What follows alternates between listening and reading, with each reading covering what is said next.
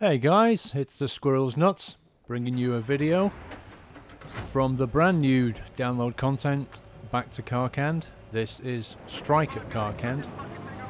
And I really should be in bed right now, but um, yeah, the patch that we had to download to get this was about 1.3 gigabytes in size on the PS3. That took a while, obviously there was quite a bit of a demand for that. Then it had to install, it kind of hung at 36%, then it logged me out of the PlayStation Network, then it carried on again, and then to top it all off, when it had finished, I tried to, I used a server browser, and it told me that I hadn't got the downloadable content for this for the server I was trying to join. So I had to quit Battlefield, come back in again, and lo and behold, it went, congratulations, you've now got the Back to Karkand expansion pack, which it had already told me it had downloaded and installed. So anyway, that farce out the way, um, I then managed to get into a few games of, um, of the Karkand maps. This particular one, Strike at Karkand, I managed to get in the LAV right at the start. I'm an engineer with an A91. I think it starts off silenced. I was playing with the silencer, but I didn't like it, I think I switched it halfway through this particular game. Now, one of the things I can tell you is on the PC, when you're playing the PC, obviously there's a, an awful lot of destructibility in the in the buildings, and on the PS3 so far, um, that's not been quite so apparent. It's obviously been a bit toned down to probably to cope with the various memory restrictions on consoles and that kind of thing. But I can tell you that the destruction on um, the Karkand maps in particular is pretty high. You know, lot, lots of it's it's more akin to the PC. It's probably not as as um, destructible as the PC because we just you know the consoles just can't cope with that. But as you can see here, this building on the right is completely decimated on the corner. Um, it is very destructible, and that's that's great news for console players. One of my favourite um, maps so far has been the um, Peninsula map. Um, I've that that looks fantastic. Uh, they've done a great job on the Sharqi Peninsula. Beautiful map. Then Gulf of Oman, I'd say, is quite nice, but obviously one of the favourites got to be Wake Island. Wake Island, I've I've played a few games, but I didn't play any particularly um, decent games. This was one of the, the more decent games that I had. As you can see, I'm having a right laugh in this LAV, tearing it up. Eventually we get uh, overcome, but you know, not before I get quite a few kills and take out some guys and blow some stuff up. Really enjoyable. Um, but yeah, Wake Island, what's happening on that at the moment is uh, everybody's trying to get in the in the new vehicles, so they're all trying to get in the F-35, and so many people are just getting in there and binning it. I've seen guys get in the helicopters and, you know, utterly fail. I was a gunner in a helicopter, and he flew so low that I couldn't do anything. I couldn't take out the other helicopter. So there's an awful lot of fail play going on right now. People getting used to the maps, people getting used to the new vehicles. Um, but you know, it's all good fun, isn't it? You've got to you've got to expect that, I suppose. Trying to get back in that LAV again here, look, and I do manage it, so off I go again. Bit of a drive back down, but it's quite quite a quick vehicle this, so you can get down there fairly quickly. This particular game, um, I think we win this one, which I think, as you saw on the scoreboard, then we were, we were on demand at this point. Um, the B, I think it is, which is the square, is such a hard node to capture. It really is. It's flat and open, it's surrounded by buildings. I've been there in vehicles, I've been there on foot, and people are up on the on the buildings all around it. Not you know, not just snipers and stuff. But um, people with RPGs, the engineers, it gets camped up so badly. Uh, if you capture that, it's not that hard to keep hold of it because you, know, you just surround it and you can overlook anybody that tries tries to come in. It's got mines on it and God knows what else. But apart from that, I mean, I what I quite like doing is running it right down one of the flanks here and getting right down the back there and capturing their nodes and then working my way back from, from their end, which seems to work reasonably well for me. Uh, sorry if my voice sounds a bit funny, I've got a feeling I'm coming down with a cold. Annoyingly. Don't need that, do I? Mind you, I suppose I could take time off work and play this damn thing.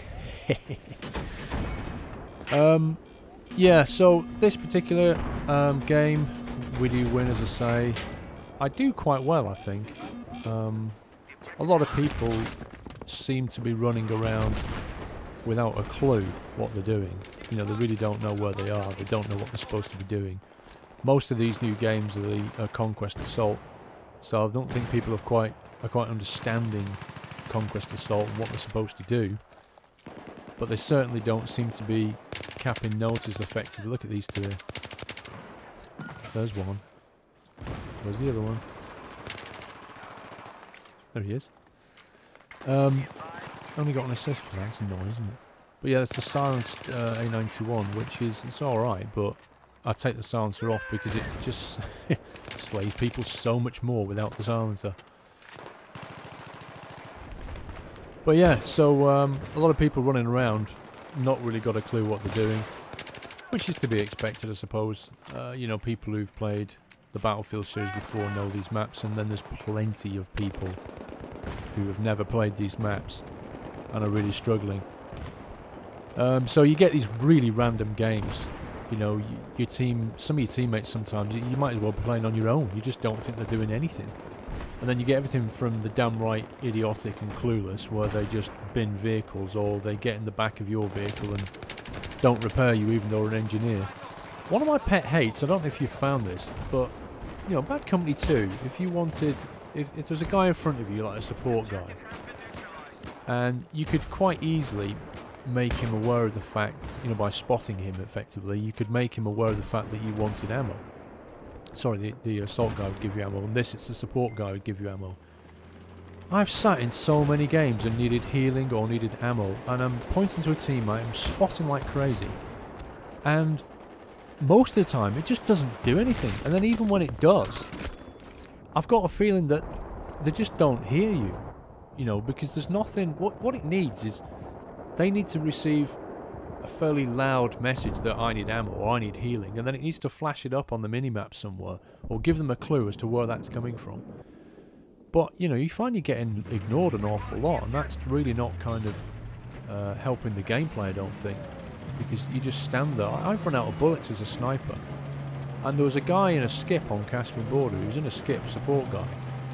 And I was spotting him, spotting him, spotting him, like, give me some bleeding ammo, you know, I need some bullets and he didn't do anything. In the end, I stood in front of him and got my tack light out, shone at his face, jumped up and down like crazy, spotted him like mad, and in the end, eventually, he threw an ammo pack down.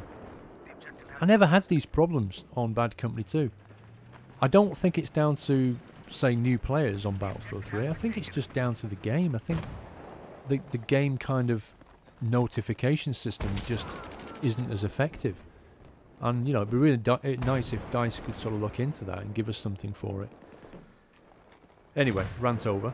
Um, so yeah, in terms of the of the maps, I've played them all. Um, Wake Island is great fun. It really is great fun on land or in the air. Um, such a movie, you know, the, the, the combat just ebbs and flows, and then you've got these narrow roads that, you know, it's a big U shape effectively and you're forever driving down there in vehicles, and then you know you suddenly pass an enemy going the other way in a vehicle, and then one of you will turn around inevitably and try and follow the other. And meanwhile, you're up in the in the helicopter, just slamming, raining down death on these vehicles. Still got the jet ramming going on, of course. That's still happening. Um, Peninsula is um, just a, a lovely map, quite frankly and I have got some uh, footage flying over it in a helicopter but I'm not there's just not enough footage there to, for to me to make a video. So hopefully tomorrow or something I'll be able to get a decent game on one of the other maps and, uh, and make a video out of that for you guys. Um, so yeah there you go. There's me just basically taking that suppressor off because I didn't yeah it just wasn't working really. I didn't find it that effective. Um, so yeah Gulf of Oman um, yeah, it's okay. I mean, as a map, it's not it's not one of my favourite maps, but it's all right. I tend to do an awful lot of running around in it. Um, I, I don't know. It just doesn't feel as this this particular map here, the Karkand map. always feels like you're not far away from the enemy or you're not far away from a fight or you're not far away from being able to catch something but Gulf of Oman um, I don't know the games I played we just seem to be everybody seems to be collecting at one particular node kind of thing and then it was a bit of a run to another node because you know the vehicles have gone and, uh, and then you've got plenty of snipers who are up in high positions, so you end up having to snipe because nobody else is taking them out. And I just didn't enjoy it as much, you know. Uh, strike, strike at uh, Karkan, this one I quite enjoy. Um, Wake Island, wonderful, and Peninsula, yeah, didn't gain long enough on Peninsula. And one of the other sort of annoyances is, you know, it'd be nice if you could just basically at this point, this only applies to console, won't apply so much to PC, but you know, we're limited to we only have the servers that DICE gives us, so if you want to play just the Karkan maps, um, you can't really because you have to you have to go into a server and it, and it's got a map rotation that's pretty fixed, and they're all set up by and EA. So you will, might get a Karkan map and then you might get uh, a normal map, which is a bit annoying because you just want to play Karkan maps right now, or I do. Having said that, the last few games I had towards the end of, of this evening, um, they all just went back-to-back -back Karkan maps, so I don't don't quite know. Maybe I was just lucky, but uh, that was quite good fun. But yeah, um, A91, still loving this gun. We get trapped in this bit here. I know there's a sniper up on that roof. He's already taken my uh, teammate out. There he is. So I try chucking an RPG up there, see if we can shift him. Can actually kill him. a great little shot. Obviously, when you're trying to take a sniper out, you you don't get much chance to to look and scope in. You've got to sort of duck out and duck back in again pretty fast. Because if he's got that scope trained on you, it can be. Look at this. Is I think I get a double kill with a grenade here. Yeah, there you go. Look at that. Because I saw those two on the on the mini map, so I just winged a grenade over. I was fully expecting them to run towards me. Because, like I say, this particular node is very, very hard to get. You've got to clear the area around it before you can stand a hope in hell's chance. Um, but I threw that grenade over there and it actually took both of them out. That was hilarious. That was unlucky, wasn't it? He's got the SG553, so he's picked up one of the new weapons. The achievements, there's a there's a first sort of tier of, of achievements. They're quite quite reasonably easy to get actually. Um, the first tier of achievements, and then that unlocks a second tier, which is uh, quite a bit more difficult.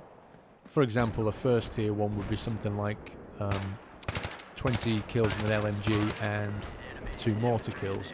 Or for the engineer, 10 repairs and kill an enemy with a repair torch.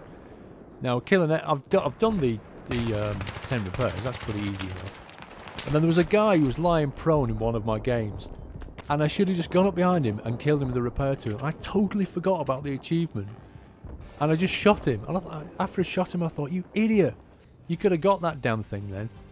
Um, the recon ones are quite uh, interesting. 20 sniper kills and 5 laser designations. Bizarrely enough, I didn't get my laser, designations as a recon class. I actually got them in the back of a tank in the CITV station.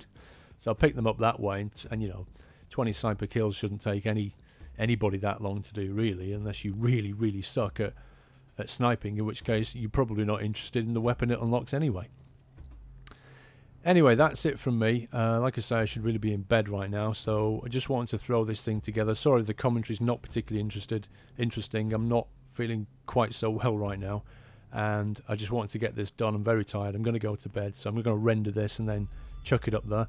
Hope you enjoy it. Uh, click like if you do. Leave me your comments. Let me know what you think. Take care, guys, and I shall have more footage for you soon.